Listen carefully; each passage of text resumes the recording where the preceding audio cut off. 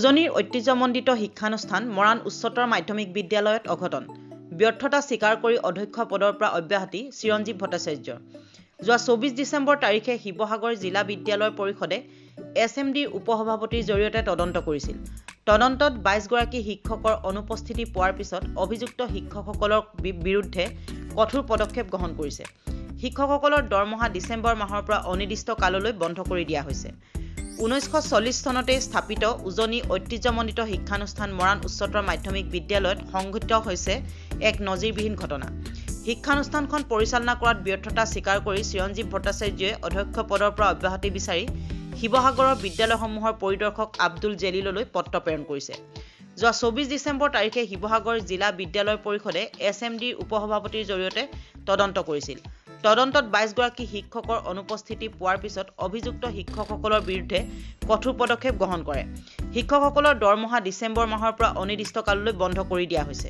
এই ঘটনাক কেন্দ্ৰ কৰি শিক্ষানুষ্ঠানখনৰ শিক্ষক গোটৰ মাজত এক সংঘাতৰ সৃষ্টি হয় যাৰ প্ৰতিক্ৰিয়া হিচাপে কালি বিদ্যালয়খনৰ অধ্যক্ষ চিৰঞ্জীৱ ভট্টাচাৰ্যই অধ্যক্ষ পদৰ পৰা অব্যাহতি বিচাৰি কৰ্তৃপক্ষক পত্ৰ প্ৰেৰণ কৰে।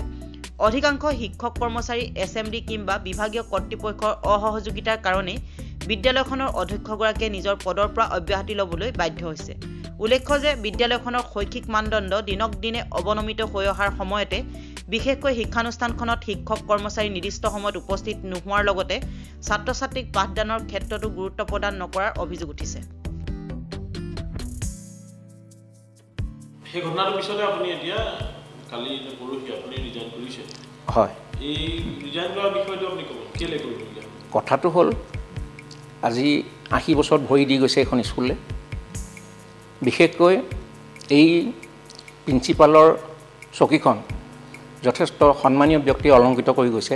সেই মই যিহেতু পাৰ্মানেণ্ট প্ৰিন্সিপাল পাঁচ জানুৱাৰী ঊনৈছ দুহেজাৰ ঊনৈছ চনত মই জইন কৰিছোঁ। দুবছৰ কাৰ্যকাল মোৰ শেষ হৈছে। কিন্তু মই পাৰ্মানেণ্ট প্ৰিন্সিপাল হিচাপে স্বাধীনভাৱে মই কাম কৰিবলৈ পোৱা নাই। বিভিন্ন কাৰণত। কথাটো হ'ল সেইটো।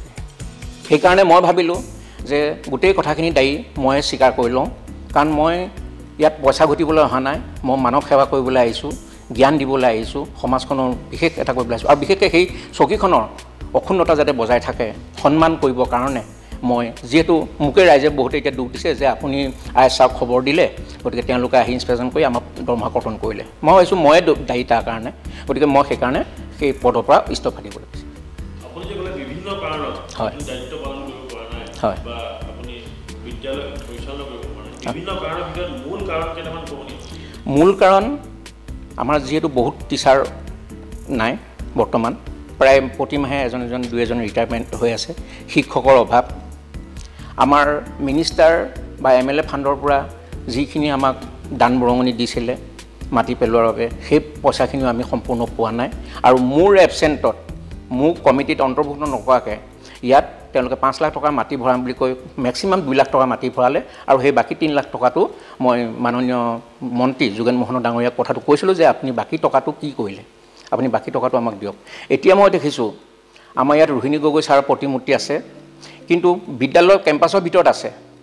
আৰু তাত যিকোনো কাম কৰিব সময়ত মোক কিন্তু তেওঁলোকে সহায় নলয়।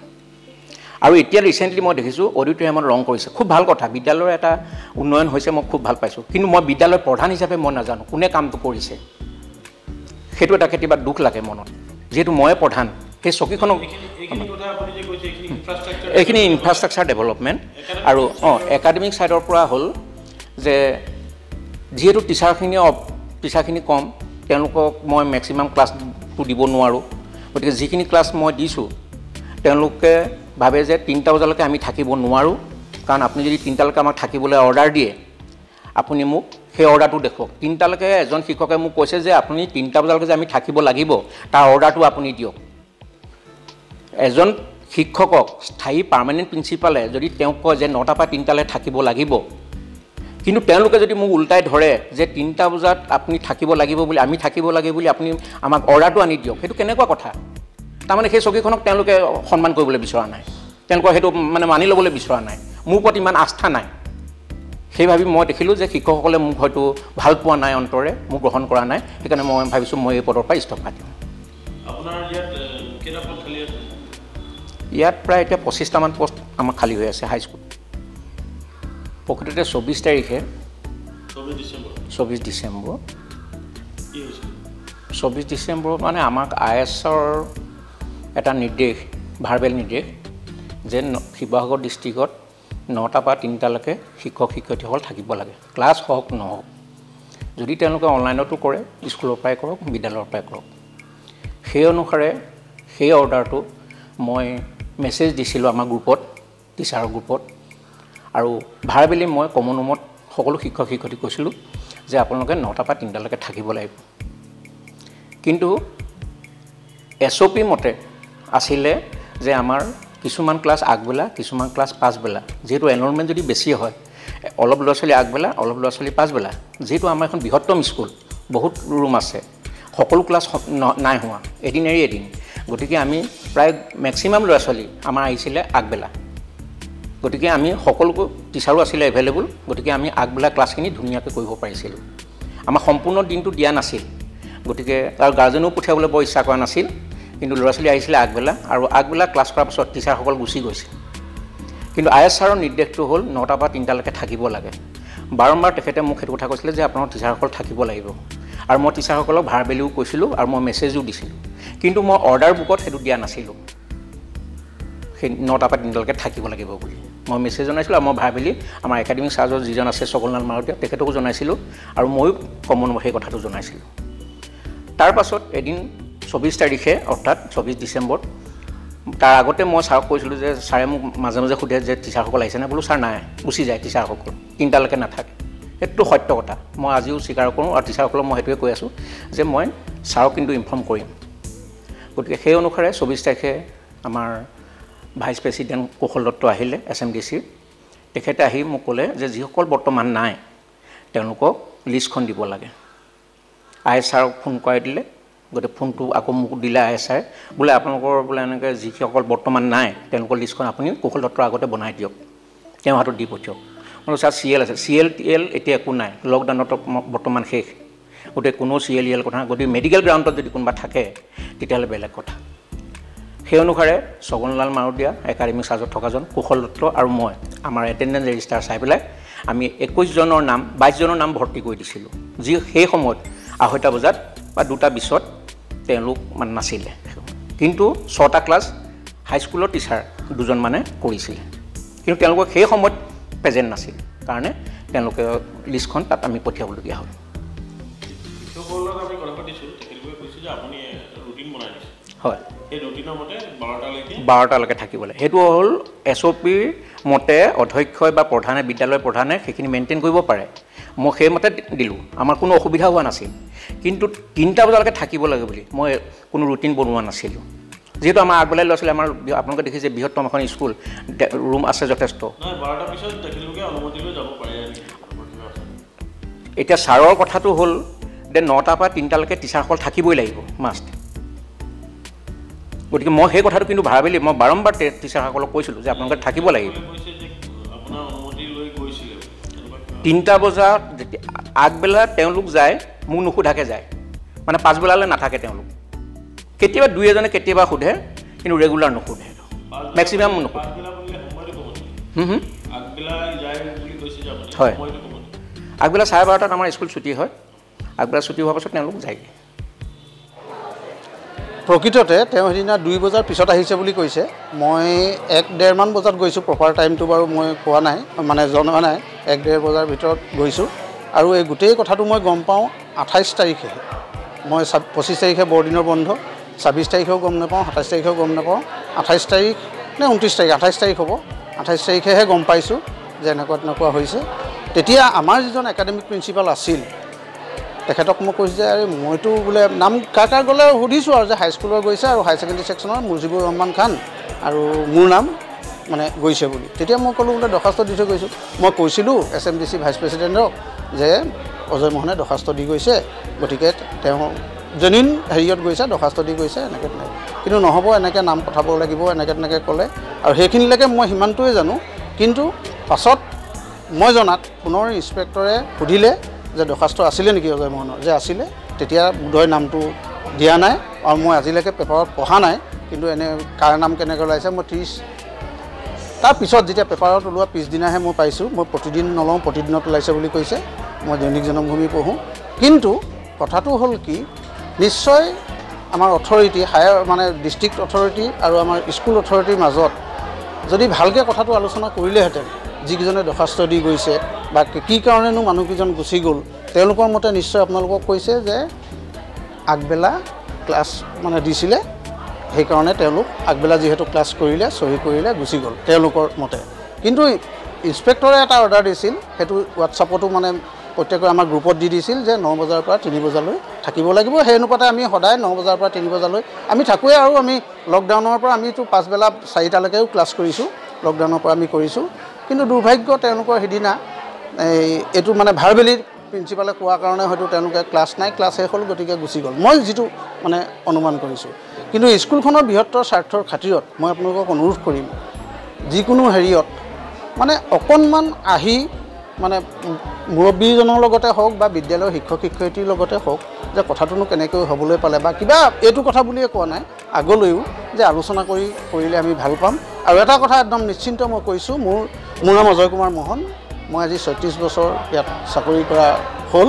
আমি কোনোদিনে কোনোদিনে মানে ছাত্ৰ ছাত্ৰীক শিক্ষাদান কৰাত শিক্ষক শিক্ষয়িত্ৰীয়ে কিবা গাফিলতি কৰিছে বুলি ক'ব নোৱাৰোঁ। আৰু আমাৰ কিছু হ'ব গাফিলতি ইতিমধ্যে বহুতো শিক্ষক শিক্ষয়িত্ৰী ৰিটায়াৰ হ'ল। ছাবজেক্ট টিচাৰে হওক এছিষ্টেণ্ট টিচাৰে হওক এপইণ্টমেণ্ট নোহোৱাৰ কাৰণে কেতিয়াবা কিছুমান তাতে যদি আকৌ থকাকেইজনেও চি এল ছুটি লৈ লয় বা কিবা লৈ লয় ক্লাছত অসুবিধা হয়। আৰু এটা কথা সগৌৰৱে ক'ব পাৰোঁ মই ছায়েন্সৰ টিচাৰ হিচাপে আজি কেইবাবছৰো আমাৰ হায়াৰ ছেকেণ্ডেৰী ছেকশ্যনৰ ছায়েন্সৰে হওক আৰ্টছৰে হওক কমাৰ্চৰে হওক ৰিজাল্ট সম্পূৰ্ণ বহুত স্কুলতকৈ উন্নত কেইবাবছৰো চেণ্ট পাৰ্চেণ্ট। আপোনালোকৰ অধ্যক্ষই ইতিমধ্যে তেখেতৰ পদৰ পৰা অব্যাহতি লৈছে। মই জনাত এইটো অব্যাহতি পত্ৰ তেওঁ দিছিল বুলিহে কৈছে মইতো সেইদিনা যোৱা নাছিলোঁ। তেওঁ মোক লগ ধৰিছিলে যদিও মই যোৱা নাই। কিন্তু বোধহয় গ্ৰহণ কৰা নাই বুলি ভাবিছোঁ। তেখেতে মেলি নাচালে বুলি কৈছে। গতিকে মই আজি পেপাৰৰ মতেহে দেখিছোঁ স্কুলত আহিহে গম পাইছোঁ এজনে কৈছে পেপাৰত দিছে যে অধ্যক্ষই মানে ৰেজিগনেশ্যন ছাবমিট কৰিছে। কৰাটো হয় কিন্তু গ্ৰহণ কৰিলে নাই তেখেতক দিয়াটো হয় কিন্তু গ্ৰহণ কৰিলে নাই সেইদিনা গ্ৰহণ কৰা নাছিল বুলি কৈছে। গতিকে মই সিমানখিনিহে জানো। তেখেতে অব্যাহতি তেখেতে অব্যাহতি লোৱাটো কিমান যুক্তিসংগত? আচলতে কি হয় সেইটো চাগে আৱেগৰ বশৱৰ্তী হৈ কিবা এটা কৰিছিল। তেওঁ এজন ফুল ফ্লেজেড প্ৰিন্সিপাল চিলেকশ্যন প্ৰচিডিঅ'ৰ মতে তেওঁ ক্ৰাইটেৰিয়াৰ মতে তেওঁ যোগ্যৰ কাৰণে পাইছে। মই তেখেতক ব্যক্তিগতভাৱে হ'লেও বা আমি অনুৰোধ কৰিম কিয় অব্যাহতি দিব লাগে? মিলা প্ৰত্যেকটো প্ৰব্লেমৰে ছল্ভ কৰিব পৰা সমাধান কৰিব পৰা ব্যৱস্থা আছে। এইটো কৰক কিছু হয়তো ভুল বুজাবুজি হৈছে আলোচনা কৰিলে নিশ্চয় হ'ব। মই তেখেতে কিন্তু পদত্যাগ কৰাটো মই ব্যক্তিগতভাৱে নিবিচাৰোঁ। তেখেতৰ যি দায়িত্ব সেই দায়িত্বত ইনস্পেক্টৰ অফ স্কুলৰ হস্তক্ষেপ এছ এম ডি চিৰ হস্তক্ষেপ আৰু শিক্ষকসকলেও বহুত কথা বহুত তেখেতৰ যি অৰ্ডাৰ অৰ্ডাৰসমূহ ফ'ল' নকৰে বা নামা অমান্য কৰে এই কথাবোৰৰ কাৰণে তেখেতে অব্যাহতি লৈছে বুলি কৈছে।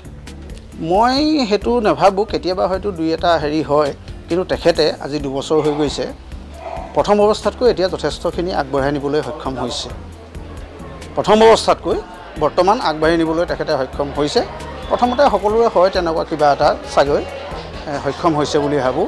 আৰু মই সকলোকে অনুৰোধ কৰিম এতিয়াও শিক্ষকসকলকো ক'ম অধ্যক্ষ মহোদয়কো ক'ম যে আমি সকলোৱে মিলা প্ৰীতিৰে স্কুলখনৰ আগৰ সুনাম যাতে অক্ষুণ্ণ থাকে তাৰ কাৰণে যাতে সকলোৱে চেষ্টা কৰে। মোৰ নাম ছগনলাল মাৰদীয়া। মৰাণ উচ্চতৰ মাধ্যমিক বিদ্যালয়ৰ মই বিষয় শিক্ষক। উপৰঞ্চি মোক অধ্যক্ষ মহোদয়ৰ অনুমতি সাপেক্ষে মই একাডেমিক বিভাগটো মোক চাবলৈ দায়িত্ব দিছে। গতিকে সেই অনুৰূপে মই চাই আছোঁ। আৰু যি এটা ঘটনা ঘটি গ'ল দুখ লগা ঘটনা এটা। আৰু এইটো আচলতে ভুল বুজাবুজিৰ পৰাপক্ষতে এই ঘটনাটো ঘটিছে বুলি মোৰ ধাৰণা। আৰু আশা কৰোঁ অদূৰ ভৱিষ্যতে এই ভুল বুজাবুজিখিনি নাইকিয়া হৈ যে পুনৰ এটা ভাল পৰিৱেশ এটা ঘূৰি আহে স্কুললৈ। তাৰ মই কামনা কৰিছোঁ। আৰু যি নিজৰ মাজত অলপ ভুল বুজাবুজি আছে সেইখিনি যাতে আঁতৰ হয়। কাৰণ ভুল সকলোৰে হয়। কি ভুল হ'ল? ভুল অন্য একো হোৱা নাই। এই সিদিনাখন হঠাতেই আমাৰ এছ এম ডি চিৰ ভাইচ প্ৰেচিডেণ্ট তেখেত ইয়ালৈ আহে। আৰু তেখেতে আহি মইতো ক'ব পৰা নাছিলোঁ মই ইয়াত মোৰ ক্লাছত আছিলোঁ। অধ্যক্ষ ছাৰক লৈ পেলাই তেখেতে ভিজিট কৰে। ভিজিট কৰি অহাৰ পিছত তেখেতে নিজৰ অফিচলৈ যায়। ইতিমধ্যে মোকো মাতি পঠিয়ায় তালৈ যে আপুনি এবাৰ ৰেজিষ্টাৰখন লৈ আহকচোন। তাৰপিছত অধ্যক্ষ মহোদয়খিনি চাই মেলি বোলে হাই ছেকেণ্ডেৰী আমাৰ হাইস্কুল ছেকশ্যনত তেতিয়া ক্লাছখিনি মোটামুটি শেষ হৈ যায়। শেষ হৈ যায় বুলি এইকাৰণে কৈছোঁ যে চাৰিটা পিৰিয়ড কৰি পেলাই বাৰটাত তেওঁলোকে হয়তো প্ৰিন্সিপাল ছাৰক অনুমতি লোৱা নাছিলে নোলোৱাকৈ তেখেতসকলে গুচি গৈছিলে। আৰু হয়তো এই কথাখিনি তেখেতে বাৰে বাৰে আগতো দুই এবাৰ পৰিদৰ্শক মহোদয়ক অৱগত কৰিছিলে। পৰিদৰ্শক মহোদয়ক বোলে তিনিটালৈকে থাকিবই লাগিব। নথকাৰ কাৰণে হয়তো তেওঁ কিজানি ক'লে নেকি ময়ো জনাত। আৰু সেই সেই সূত্ৰে ইনস্পেক্টৰ মহোদয়ে S M D C vice প্ৰেচিডেণ্টে কোৱা মতে তেখেতক পঠিয়ালে। আৰু তেখেতে ফিজিকেলি ইয়াত মানুহবোৰ নোপোৱাৰ কাৰণে তেখেতে তাত মানে গোটেই কথাখিনি তাত জনাবলৈ তেখেতে জনালে। আৰু তাৰপিছতে এই গোটেই প্ৰক্ৰিয়াটো আৰম্ভ হয়। মোৰ হঠাতে তাত একৈছজন বুলি দিছে বাইছজনো ওলাইছে কিন্তু একৈছজন আছিল। তাৰে শিক্ষক বুলি ক'লে কিছুমানে আমাৰ চি এলো লৈ থৈছিলে তাত। সেইসকল পিছত আমি আই এছ আৰৰ লগত যোগাযোগো কৰিছিলোঁ। আই এছ আৰে ঠিক আছে চি এল ৰখাখিনি আমি চিন্তা কৰিম বাৰু। কিন্তু সদ্যহতে গোটেইখিনি তাৰপিছত এই বস্তুটো প্ৰক্ৰিয়াটো চলি আছে নহয়। যোগাযোগ আমি চেষ্টা এটা কৰি চাইছিলোঁ যে ভুল হৈছে বাৰু হয়তো শুদ্ধ কৰিব লাগে। তো শিক্ষক আমাৰ তো তেখেতে মানে আৱেগিক হৈ পেলাই তেখেতে দেখি যে এইটো একো পৰা নাই। শিক্ষকসকলৰ দৰমহাও বন্ধ হৈছে। আৰু তেখেতেও ভাবিছে যে আমাৰো এইটো এটা নিয়ম এটা দিছিল চলাবলৈ স্কুলখিনি। কিন্তু আমাৰ তাত এটা নিয়ম দিছিল যে অধ্যক্ষ মহোদয়ে নিজাববীয়াকৈ সুবিধা আছে। আমাৰ যিহেতু আমাৰ স্কুলত বহুত ছাত্ৰ ছাত্ৰী আছে। গতিকে ছাত্ৰ ছাত্ৰীসকলক আমাৰ পৰিচালনা কৰাটো অসুবিধাজনক হৈ পৰে। আৰু কিন্তু আমাৰ পৰিদৰ্শক মহোদয় ছাৰেও কৈছিলে নহয় আপোনালোকে ব্যৱস্থা কৰি পেলাই কৰিবই লাগিব কামবোৰ। গতিকে এই গোটেইখিনি এটা বিশৃংখল ব্যৱস্থাৰ মাজতে এইটো এটা ঘটনা ঘটি গ'ল। গতিকে আশা কৰোঁ যাতে অতি সোনকালে এই ঘটনাটো উপশম হৈ পেলাই আমি যাতে আকৌ এটা সুন্দৰভাৱে আমি ক্লাছৰ পৰিৱেশ ঘূৰাই আনিব পাৰোঁ। তাৰ কাৰণে আমি চেষ্টা চলাইছোঁ। মোৰ নাম মহম্মদ মুজিবুৰ ৰহমান খান। মই মৰাণ হায়াৰ ছেকেণ্ডেৰী স্কুলৰ ছাবজেক্ট টিচাৰ বিষয় শিক্ষক। কিন্তু তাত যিখন অৰ্ডাৰ আহিছে তাত এছিষ্টেণ্ট টিচাৰ বুলি আহিছে। আৰু মই কৰ্তৃত্বশীলভাৱে অপ- অনুপস্থিত আছিলোঁ বুলি কৈছে। কিন্তু সেইটো নহয়। যিদিনাখন এই আমাৰ এছ এম ডি চিৰ ভাইচ প্ৰেচিডেণ্ট আহি আমাৰ অধ্যক্ষ মহোদয়ৰ লগত সেইফালে গৈছে মই পিছে পিছে গৈছোঁ তেওঁলোকে এইফালে যোৱা মই দেখিছোঁ। কিন্তু মোৰ নামটো তাত এছিষ্টেণ্ট টিচাৰ বুলি তাত সোমাই দিছে লিষ্টত। কিন্তু মই পিছত গম পাইছোঁ।